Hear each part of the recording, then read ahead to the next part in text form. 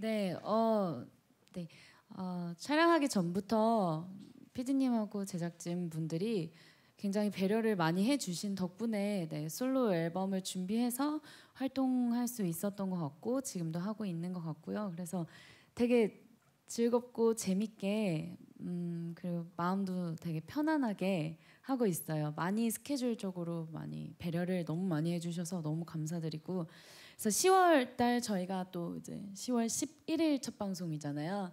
네. 10월 달은 대장금이 보고 있다에 빠져가 주셨으면 좋겠습니다.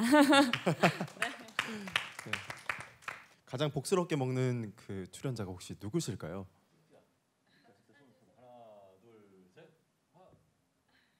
누구죠? 다 서로 어 유리 씨가 결국 두 표를 받으셨군요. 어, 투표 정말 안에 촬영장에서 쉴 틈 없이 먹어요. 햄스터처럼 제가 별명을 줬는데 햄스터예요. 끊임없이 보이면 뭐가 보이면 오물 오물 오물. 저희 가서 뭐가 보이면 오물 오물 오물. 아, 아까 식단 관리를 근데 어떻게 도대체 하신 거예요? 이렇게 다 계속 끊임없이 드시면서 대단하십니다. 오죽하면 너 정말 괜찮아? 괜찮아? 네. 데뷔가 내 괜찮아? 아니 근데 할 정말. 맛있는 거를 예, 저희 거 보지 마세요. 완전 살찌실 거예요.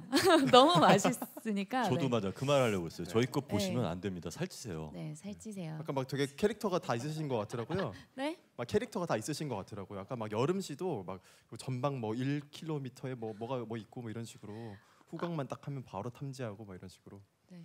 아무래도 절대 미각을 갖고 있다 보니까 이제 신동욱 씨께서 그러다 보니까 제가 이제 봤을 때는 뭐랄까 제가 먹는 어떤 어, 즐거움보다 훨씬 더 훨씬 더 전문적으로 먹는 것처럼 제 눈에는 보였었어요. 그래서 저는 이제 신동욱 씨를 선택을 했죠.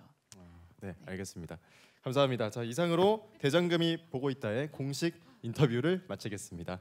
PD님과 배우분들은 자리에서 일어나 주시고요. 네, 다 같이 참석해 주신 분들께 인사 한번 네, 부탁드리겠습니다. 부탁드립니다. 네, 감사합니다. 네, 대기실로 퇴장해 주시면 되겠습니다. 네, 오늘 10월 11일 밤 11시 10분에 첫 방송되는 MBC 예능 드라마 대장금이 보고 있다. 계속해서 많은 관심과 사랑 가져주시기 바랍니다. 이상으로 대장금이 보고 있다의 제작 발표회를 마치도록 하겠습니다. 고맙습니다.